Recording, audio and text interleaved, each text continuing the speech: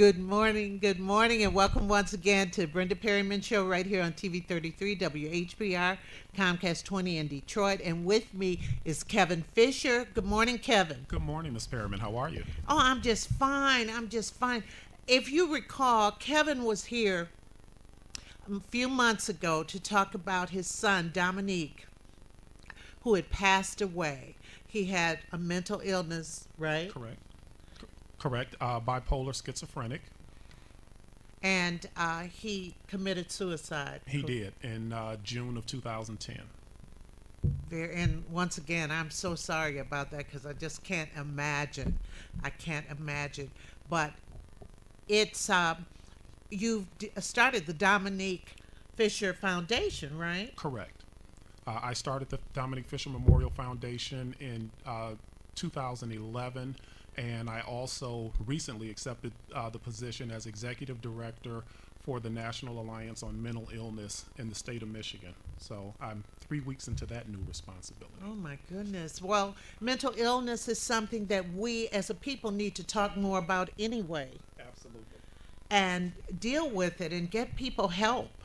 So you have an event coming up, right? We do. Uh, the National Alliance on Mental Illness hosts an annual mental health conference, and this year, uh, for the first time, we're hosting it here in downtown Detroit at the DoubleTree Hotel on May 9th and 10th. Uh, and at that conference, you will find a phenomenal amount of information on mental health services uh, offered throughout the uh, community. So, can anybody come to this? Anybody can come, but there is a fee to attend the conference. Uh, the conference is a two day conference, and we have some uh, wonderful panel discussions and wonderful guest speakers. Uh, Senator Debbie Stabenow will be there uh, Congressman Patrick Kennedy.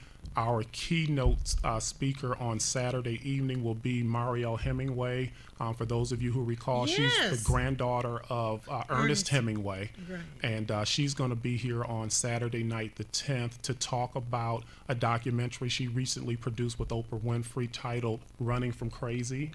Uh, she is a very large mental health activist. Yes, she is. Yes, uh, she is. And Ernest Hemingway committed suicide Exactly. In the Hemingway family, there were seven suicides, and they have a very unfortunately long history of mental illness in their family. So she is very and passionate. genius.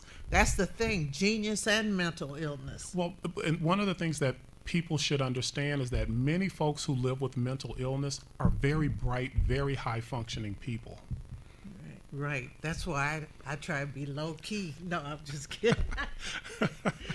I'm kidding. I mean, I'm not laughing at that, but I do know. I do know. And um, I let's talk. I, you know, I'm going to try to maybe next week give you a little time. Maybe um, I got to because we. It's so important that we talk about this and that people know about this. And I'm going to see if I could get you in for a few minutes uh, on next week's show since we had have to cut this short. But let's talk. Eh, can we, if we go to the conference, can we? Uh, do they have opportunities to talk to any of the speakers or anything? Yes, we will have four exciting panel discussions uh, mental health and faith. How does your faith view mental health care?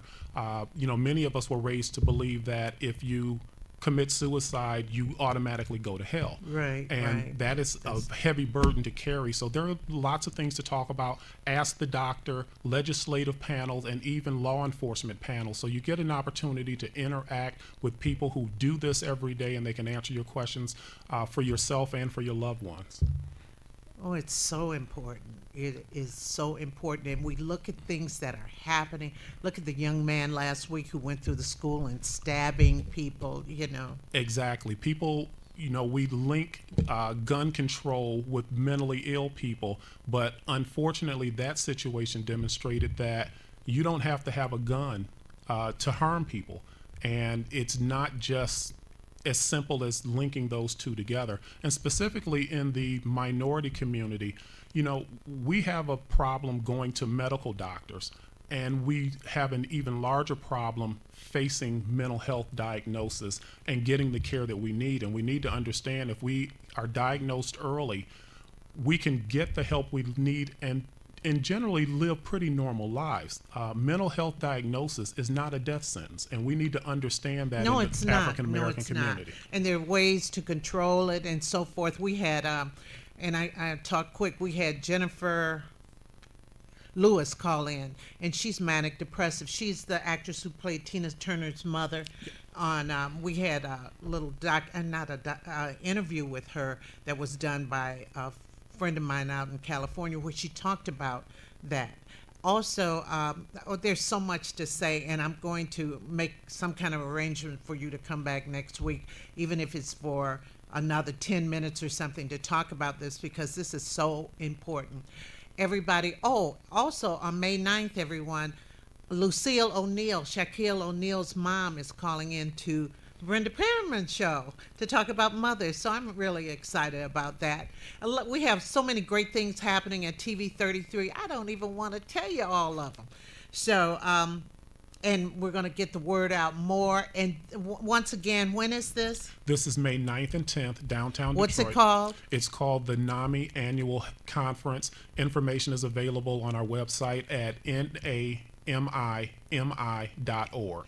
N A M I M I dot org. Correct. and um, you have the Kevin Fischer, I mean uh, Dominique Fischer Memorial Foundation, right? Yes, I do. Do you have anything on that website about it? It is, yes, there's information on my website at www.thenique.com. The Neek. Yes, that was one of his many nicknames. I know. Oh, I know. Listen, everybody. I'll see you again at one. We have a call in about jobs, and there's going to be a job here fair here. It's not a job fair. It's an opportunity for you to get a job and be paid while you're training. So watch us at one o'clock today on Table Talk with Brenda Perryman. A lot of great things coming up. We'll see you later.